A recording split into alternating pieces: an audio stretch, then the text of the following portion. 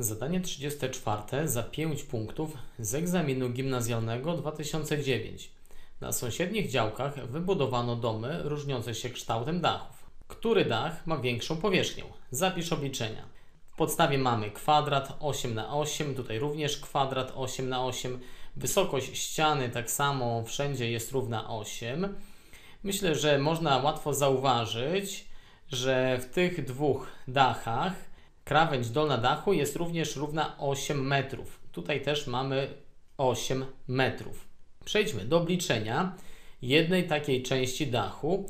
Myślę, że zauważyłeś, że tutaj masz 8, 8 i tutaj 8 metrów, więc będzie to trójkąt równoboczny. Wzór na pewno znasz, więc zamiast a wstawiamy 8. Otrzymujemy 8 do kwadratu razy pierwiastek z 3 przez 4. 8 do kwadratu 64, pierwiastek z 3 przez 4. Skracamy 64 i 4 na 4, otrzymujemy 16 pierwiastków z 3 metrów kwadratowych. Tutaj obliczyliśmy jedną część takiego dachu, ale wiemy, że w podstawie mamy kwadrat, więc takich trójkątów równobocznych mamy 4 sztuki. Więc pole całkowite to są 4 takie trójkąty. Więc wymnażamy 4 razy 16 pierwiastek z 3. Otrzymujemy, że cały dach domku z lewej strony ma powierzchnię 64 pierwiastek z 3 metrów kwadratowych. Teraz przejdźmy do obliczenia dachu domku z prawej strony.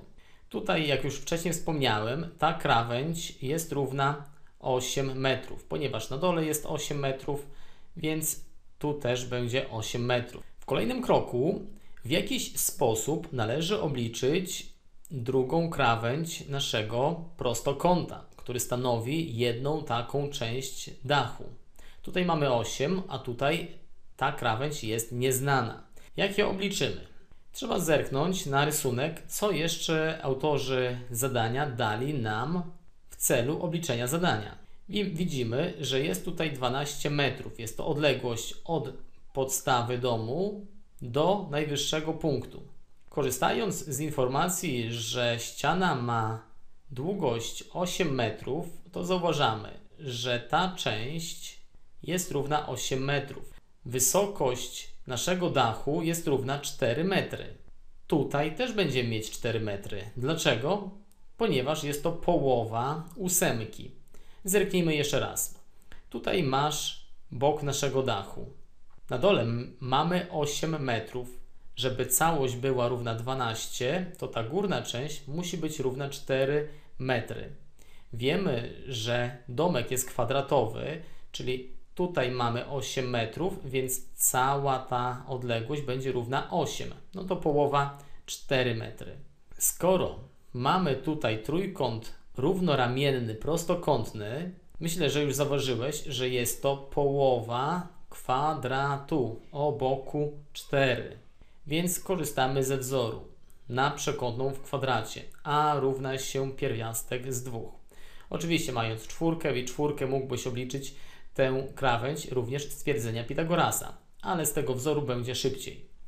Zamiast a wkładamy czwórkę, otrzymujemy 4 pierwiastek z 2 automatycznie.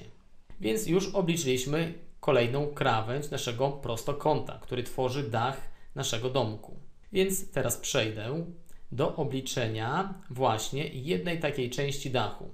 Pole prostokąta to jest bok razy bok, czyli mamy 8 razy 4 pierwiastek z 2 razem 32 pierwiastek z 2 metrów kwadratowych. Widać, że dach jest dwuspadowy, więc z drugiej strony jest taki sam prostokąt, więc trzeba tę wartość jeszcze pomnożyć razy 2. Stąd mamy pole całkowite 2 razy pole prostokąta.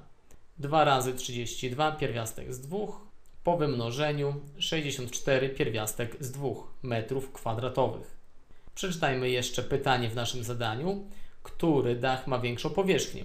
Porównujemy wyniki. Tutaj mamy 64, tutaj także, ale tutaj masz pierwiastek z 3, a tu pierwiastek tylko z 2, więc ta powierzchnia dachu jest większa. Dajemy odpowiedź. Większą powierzchnię ma dach domu pierwszego.